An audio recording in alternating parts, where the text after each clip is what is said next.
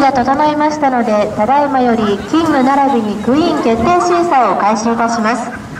審査に先立ちまして本日の Best in Show ジャッジをご紹介いたします。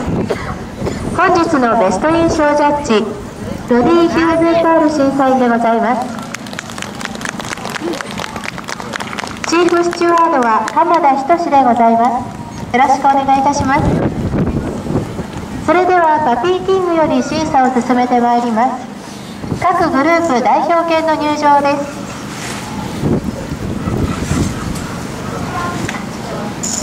出陳番号53ウェルシュ講義ペンブローグ。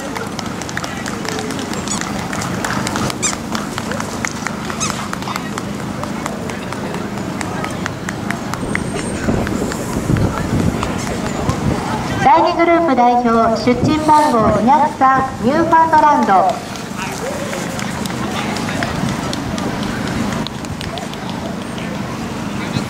第3グループ代表出陳ナンバー252ペルシュテリア。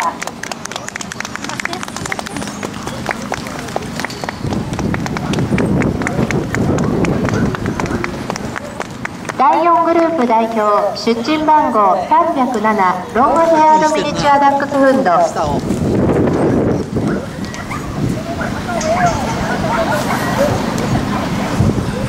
第5グループ代表出陣番号418芝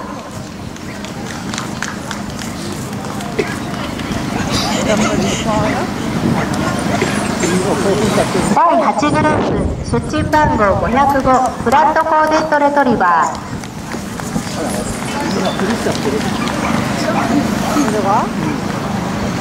第9グループ出陣番号735トイプードル。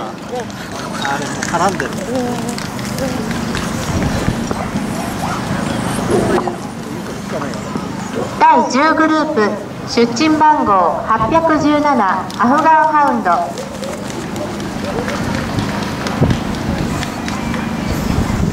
以上8頭の中からパピーキングが決定されます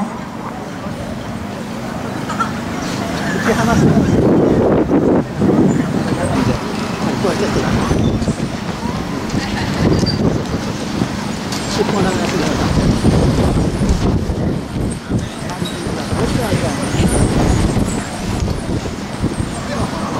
いよいよパピーキングが決定いたします。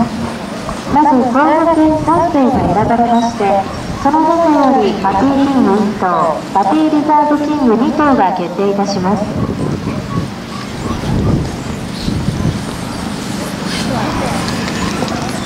候補犬が選ばれました。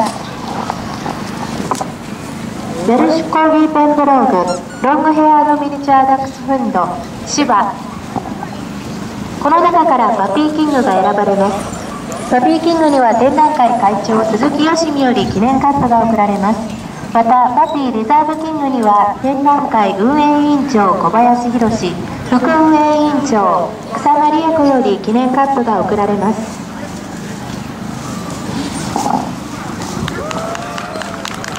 決定いたしました。